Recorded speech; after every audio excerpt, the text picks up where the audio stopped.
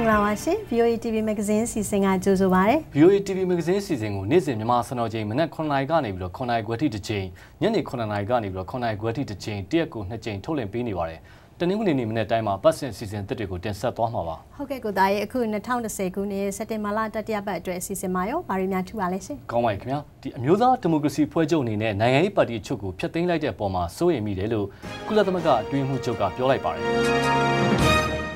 လာမယ့်ရွေးကောက်ပွဲကနေပြီးတော့နိုင်ငံရေးအပြောင်းအလဲအတွက်ဘာမှမမျှော်လင့်နိုင်ဘူးဆိုပြီးတော့ရွေးကောက်ပွဲဆန့်ကျင်သူတွေကပြောပါတယ်ဒီအကြောင်းကိုတော့ဒီမိုစီဆွေးနွေးကမှကြည့်ရဖို့ရှိပါတယ်ခင်ဗျာခုပထမဆုံးတော့မြန်မာနဲ့နိုင်ငံတကာသတင်းတွေကိုကြည့်ကြရအောင်ပါရှင်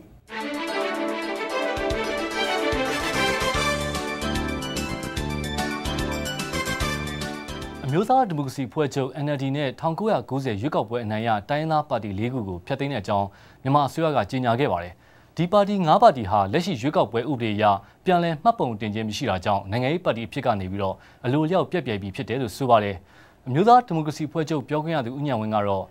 NLD ဟာတရားဝင်ပါတီဖြစ်ဆက်ပြီးတော့ရည်တည်ခွင့်ရှိတယ်ဆိုတာတရားရုံးမှာလျှောက်ထားတဲ့ကိစ္စမပြီးပြတ်ခင်မှာအခုလိုဒီရွေးကောက်ပွဲကော်မရှင်ကပါတီဖြတ်ကြောင်းကြေညာလိုက်တာဟာနိုင်ငံရဲ့တရားဥပဒေစိုးမိုးမှုကိုထိခိုက်စေတယ်လို့ထောက်ပြပါတယ်။အမျိုးသားဒီမိုကရေစီဖွဲ့ချုပ်ပါဝင်နိုင်ငံရေးပါတီ10ခုကိုအခုလိုကော်မရှင်ကဖျက်သိမ်းတဲ့အပေါ်မှာစိုးရိမ်မိတယ်။ ရွေးကောက်ပွဲဆိုင်ရာလုပ်ငန်းစဉ်တွေမှာအားလုံးအပြည့်အဝပါဝင်နိုင်ရေးအခြေအနေတွေဖန်တီးပေးဖို့လဲကုလသမဂ္ဂအတွင်းမှုချုပ်ကမြန်မာအာဏာပိုင်တွေကိုတိုက်တွန်းပါတယ်။အတွင်းမှုချုပ်ရဲ့မြန်မာမိတ်ဆွေနိုင်ငံများဝန်ကြီးအဆင့်အစည်းအဝေးကိုလည်းအထွေထွေညီလာခံကျင်းပနေတဲ့ကာလစက်တင်ဘာလ29ရက်နေ့မှာနယူးယောက်မှာကျင်းပဖို့မျှော်လင့်တယ်လို့လည်းအတွင်းမှုချုပ်ပြောခွင့်ရသူကပြောဆိုခဲ့ပါတယ်ခင်ဗျာ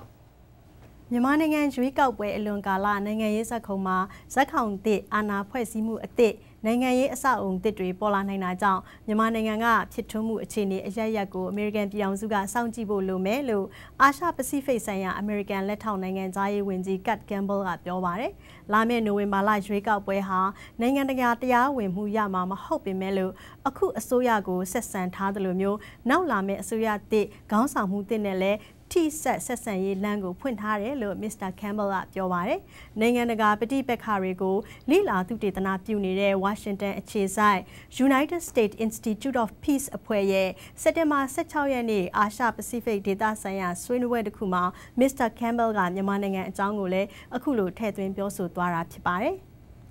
အမေရိကန်ပြည်အောင်စုရဲ့မူဝါဒသစ်အရမြန်မာနိုင်ငံနဲ့ထိစပ်ဆက်ဆံမှုအတွက်လက်ထောက်နိုင်ငံသားရေးဝန်ကြီး Kurt Campbell ဟာမြန်မာနိုင်ငံကိုနှစ်ကြိမ်တွားရောက်ခဲ့ပြီးမြန်မာအစိုးရအာဏာပိုင်တွေနဲ့အထင်းသိမ်းခံထားရတဲ့အတိုက်ခံခေါင်းဆောင်ဒေါအောင်ဆန်းစုကြည်ကိုတွေ့ဆုံခဲ့ပူပါတယ်။ကချင်ကောင်းဆောင်တွေကိုဒီရွေးကောက်ပွဲဝင်တာပိတ်ပင်ခံရတယ်ဆိုကိုသားဟုတ်တယ်ဗျဒီမြန်မာအစိုးရနဲ့ပြစ်ခတ်ရစဲယူခဲ့တဲ့ကချင်လူမျိုးရေးအဖွဲ့ KIO ခေါင်းဆောင်ဟောင်းတွေကိုကော်မရှင်ကရွေးကောက်ပွဲဝင်ခွင့်ညှင်းပယ်လိုက်တာပါ။ ရွေးကောက်ပွဲမှာတတိပုဂ္ဂလဖြစ်နေရှင်ပြိုင်မှုအမည်စင်းတင်သွင်းထားတဲ့ဒေါက်တာတူးကြာအပါဝင်ကချင်လွတ်မြောက်ရေးဖွဲ့ KIO ခေါင်းဆောင်ဟောင်းတွေအားလုံးကိုတစုံတရာအကြောင်းပြချက်မပေးဘဲနဲ့ကော်မရှင်ကနေပြီးတော့ကိုယ်စားလှယ်ဖြစ်ကနေပြီးတော့ပယ်ချခဲ့တယ်လို့ပယ်ချခံရတဲ့ကချင်ခေါင်းဆောင်ဟောင်းတူကပြောပါတယ်ခေါင်းဆောင်ချုပ်ဟာ KIO ကနေအနားယူပြီးတော့ KSPP ကချင်ပြည်နယ်တိုးတက်ရေးပါတီဖြစ်နိုင်ငံရေးပါတီထူထောင်ခဲ့ပေမဲ့ကော်မရှင်ကနိုင်ငံရေးပါတီဖြစ်နေလက်မခံခဲ့ပါဘူး။ဒါကြောင့်မလို့သူတို့အားလုံးဟာတတိပုဂ္ဂလကိုယ်စားလှယ်လောင်းတွေဖြစ်နေကော်မရှင်မှာအမည်စင်းတင်သွင်းခဲ့ရတာပါ။ တစ်ဖက်မှာတော့အစိုးရနောက်ခံကြံ့ခိုင်ရေးအဖွဲ့ဝင်ဟောင်းတွေနဲ့ဖွဲ့ထားတဲ့ကချင်ပြည်နယ်စီလုံးညီညွတ်ရေးနဲ့ဒီမိုကရေစီပါတီကကိုယ်စားလှယ်လောင်းအားလုံးကိုတော့ကော်မရှင်ကအတည်ပြုပေးခဲ့ပါတယ်။နေကြားဆောင်တပ်ဖွဲ့ရေးကိုလက်မခံတဲ့ KIO နဲ့မြန်မာအစိုးရကြားမှာတင်းမာမှုတွေရှိနေတာကြောင့်အခုလိုဒီ KIO ခေါင်းဆောင်ဟောင်းတွေကိုရွေးကောက်ပွဲဝင်ခွင့်မပေးတာလို့လေ့လာသူတွေကသုံးသပ်ကြပါတယ်။အမေရိကန်နိုင်ငံသားရေးဝန်ကြီးဟီလီရီကလင်တန်ကိုရိုင်းကြားဝင်ဆောင်ရွက်ခဲ့တဲ့အရှိအလဲပိုင်းငြိမ်းချမ်းရေး Israel Palestine ဆွေးနွေးပွဲဟာတစုံတရာရလတ်မရှိဘဲပြီးဆုံးခဲ့ပါတယ်။ Mrs. Clinton ဟာ Israel ဝန်ကြီးချုပ် Benjamin Netanyahu ပါလက်စတိုင်းသမ္မတမမိုအာဘတ်စ်တို့နဲ့နှစ်ရက်ကြာသုံးဝင်ဆိုင်ဆွေးနွေးမှုတွေလုပ်ခဲ့ပါတယ်။ ဂါဇာအနောက်ဘက်ကမ်းဒေသအစ္စရေးအင်အားသစ်ဆောက်လုပ်ရေးလုပ်ငန်းတွေကိုရပ်တန့်ဖို့သဘောတူညီချက်ကိုနောက်ထပ်တက်တန်းတိုးရေးအစ္စရေးဘက်မှအစီအစဉ်မရှိဘူးလို့အစ္စရေးဘက်ကတုံ့ပြန်ခဲ့ပါတယ်။ဒါပေမဲ့အစ္စရေးအင်အားသစ်ဆောက်လုပ်မှုတွေကိုတော့အတိုင်းအတာပမာဏအကန့်အသတ်ထားမယ်လို့တော့အစ္စရေးကပြောပါတယ်။ဒီနယ်မြေဟာပါလက်စတိုင်းတွေရဲ့အနာဂတ်နိုင်ငံတော်သစ်ပိုင်နယ်မြေတစ်စိတ်တစ်ပိုင်းဖြစ်တာမို့ဒီအင်အားသစ်ဆောက်လုပ်မှုတွေကိုဆက်လုပ်နေမယ်ဆိုရင်အစ္စရေးနဲ့ငြိမ်းချမ်းရေးဆွေးနွေးပွဲတွေဆက်မလုပ်နိုင်တော့ဘူးလို့ပါလက်စတိုင်းဘက်ကချင်းချောက်ပြောဆိုထားပါတယ်ရှင်။တ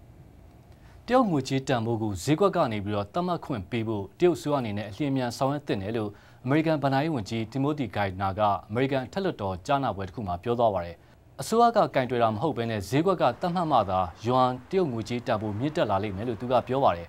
တတရုတ်ကဒီယွန်ငွေကြေးကိုထိန်းချုပ်ကစားနေတဲ့အပေါ်မှာဖိအားပေးဖို့တရုတ်ကုန်ပစ္စည်းတွေအပေါ်မှာအခွန်တိုးကောက်တာဒါမှမဟုတ်အခြားအရေးယူနိုင်တဲ့နည်းလမ်းတစ်ခုခုသုံးဖို့အမေရိကန်အောက်လွှတ်တော်အမတ်တွေကလည်းစဉ်းစားနေကြပါတယ်။ နိုင်ငံခြားကဖိအားတွေကြောင့်မလို့သူတို့ရဲ့မူဝါဒပြောင်းလဲမှာမဟုတ်ဘူးလို့တရုတ်တာဝန်ရှိသူတွေကတော့ပြောနေပါတယ်။ရုံငွေတန်ဖိုးမြင့်တက်လာတာကြောင့်အမေရိကန်ပြည်ထောင်စုရဲ့တရုတ်နဲ့ကုန်သွယ်မှုမှာအကြီးကျယ်လုံငွေပြမှုဒါမှမဟုတ်အမေရိကန်မှာလောက်ကင်ဆုံးရှုံးမှုတွေတက်တာလာစေဖို့အတွက်ဖြည့်ရှင်းပေးနိုင်မှာမဟုတ်ဘူးလို့ တရုတ်နိုင်ငံကြီးဌာနပြောခွင့်ရသူဂျန်ယူးကသတင်းတောက်တွေကိုပြောခဲ့ပါတယ်တစ်ဆက်တည်းပဲဒီအိန္ဒိယပိုင်ကက်ရှမီးကမငြိမ်သက်မှုအကြောင်းတွေပြောပြပါအောင်မညိုကြီးဟုတ်ကဲ့အိန္ဒိယပိုင်ကက်ရှမီးယားပြည်နယ်အတွင်းမှာစက်တင်ဘာလ16ရက်နေ့ကဆန္ဒပြသူတွေလက်ချက်နဲ့လုံခြုံရေးတာဝန်ရှိသူ9ဦးထိခိုက်ဒဏ်ရာရခဲ့ပါတယ်။ကက်ရှမီးယားဒေသတွင်းအကြမ်းဖက်မှုတွေရော့ကျသွားဖို့စစ်ဖက်နဲ့ရဲဘက်တာဝန်ရှိသူတွေပူးပေါင်းပြီးမဟာဗျူဟာသစ်တရက်ချမှတ်ဆောင်ရွက်နေချိန်မှာအခုလိုအကြမ်းဖက်တိုက်ခိုက်ခံရတာပါ။ အိန္ဒိယပိုင်းကက်ရှမီးယားဒေသတစ်ခုလုံးမှာဆန္ဒပြမှုတွေအကြမ်းဖက်မှုတွေဖြစ်နေတာကြောင့်အပြင်မထွက်ရအမိန့်ထုတ်ပြန်ထားပါတယ်။ အမေရိကန်မှာသင်းအုပ်ဆရာတယောက်က